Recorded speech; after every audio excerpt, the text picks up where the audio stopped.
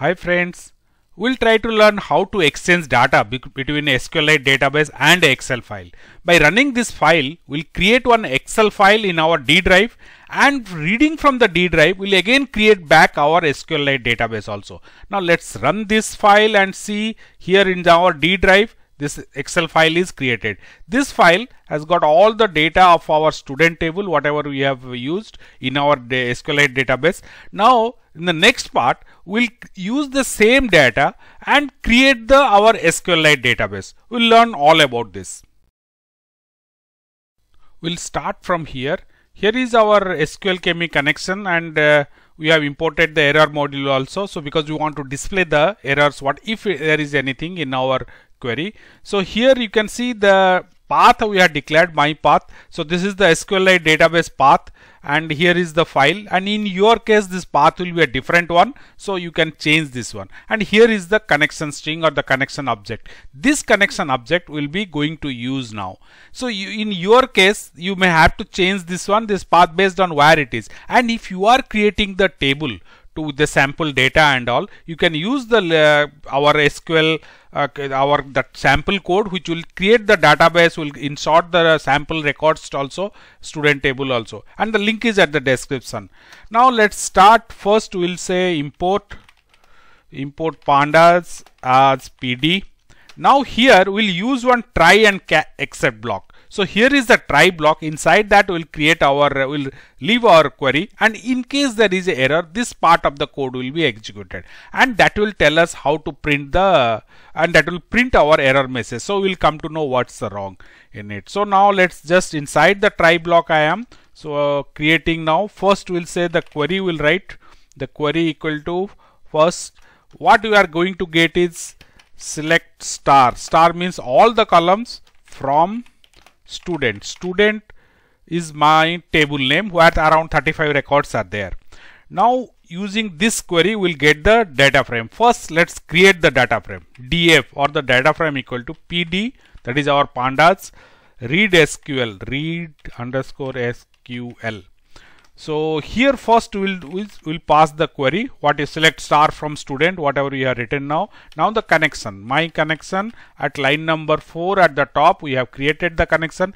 Even if you are using some other uh, driver also SQLite 3 driver also keep this variable name same so the same code will work. You can change if you are not using SQLite you can use uh, SQLite sorry if you are not using SQL Alchemy then you can use SQLite 3 also. So my connection that is uh, our uh, connection to the SQLite database. Now we are saying index column. What is the index column is ID because in our table there is one ID column is there. What you are telling is that use that as uh, your index column. Don't create a fresh index. So now the data frame is ready. Now we, for a testing purpose, let's just print our data frame. Print df head this will by default will print the instead of printing the entire data frame the five columns from the top. By default it is five. Otherwise if I want to print two column I can also print it. Now let me save this and run. Now we are not creating any excel file or anything. We are just printing the thing. Before that wait a minute. Before that we'll print another thing also. We'll run one else part. The else part of this try except block will be executed once there is no error so else part will say print. Now we're saying data frame created. So you can write successfully. Okay, you can write anything text. So this message means data frame is created. Up to that, up to these three lines, there is no error. So let us save this and run once. So here it is data frame created. Let me just move it up a bit here it is. You can see here three uh, this is the three records uh, one to sorry the second part of it. Let me move up a bit. Yeah here you can see two records are displayed and data frame created successfully. Suppose I will make it I'll remove it. By default it will display the my the uh, display the five rows of data. So here it is up to five it is displaying and data frame created successfully the else part is getting executed.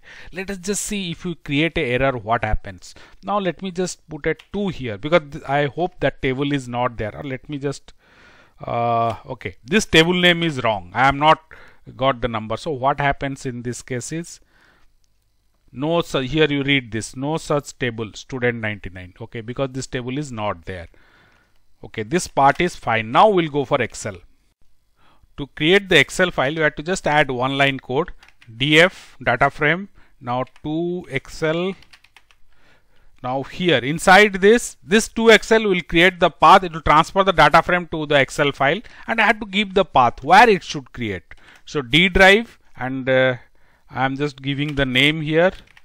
student dot xlsx so this is my file. So that's all. This line I can comment this uh, line also. I don't want print. Only what you will do is data frame created successfully will message will come. Let me save this and running once. So you can see data frame created successfully and you can see the student table. Now let me delete this here and once more I'll run this here will be the file is created so this student file now from this file we'll go and create the table we'll modify this code so First, we'll read the Excel file. So for that, we'll create the data frame by reading the Excel file. So pd.read Excel, read Excel. Now inside this, I am giving the path, which Excel file to read. Here I am saying student xlsx. This is the file what you have created right now. Now once this is there, this line is not required. This particular line will remove it. If you want you can print the data frame that one. Now what is that is now will not use to excel is not required. Now we'll create the our we'll create the table in our SQLite so 2 SQL now what we are going to do is connection first. Connection we are saying my connection my CO and my connection is the I can move what this also will move it down a bit. So we can see from the top you can see the connection is there my connection to our SQLite database. So that we are using it here. So line number 4 the connection is already there. So name what name we are going to give? Now we'll say because student table is already exists so we will give it a student 99 I am giving. This is the one which is not existing there. So then if exist equal to now I'm saying append. If it is exists so the records will be appended next time we'll run it. So here up to this point is fine. But what happened how we'll know that SQLite database the data has transferred successfully or not?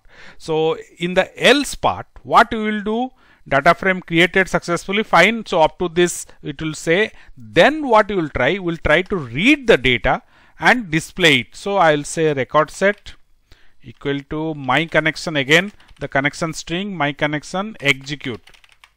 Now here I am saying select star from student table 99 so this particular table whatever is created and data is stored same thing you execute it get all the data from there. So that now what we will do we'll try to display that. So for row in record set print row. So it will one by one all the data whatever is there inside the our table that will be printed. So that is confirms that the data is taken from uh, excel table created the table here and it is again it, this this part is only to ensure that the records are actually gone. So i am saving this running. Now let's just see yeah here all the records again. You can see here all the records are available and it is stored in the table student 99 and displayed. So data is read here then the data frame is created then data frame output uh, is pushed to the uh, by pushed to the SQLite database by creating the table. That's all friends we have seen how we have uh, taken the inputs and uh, from the SQLite and created the Excel and from Excel we have created the table again. I hope and if you have any doubt, suggestion or question, use the comment section below to post it. And if you have any idea to how to implement it in your applications and all, use the comment section below to post it. And i will request you please subscribe to our channel and press the bell icon so you'll be notified as and when we add new new tutorials. We frequently do that. Please subscribe to our channel and share this with your friends. Thank you for watching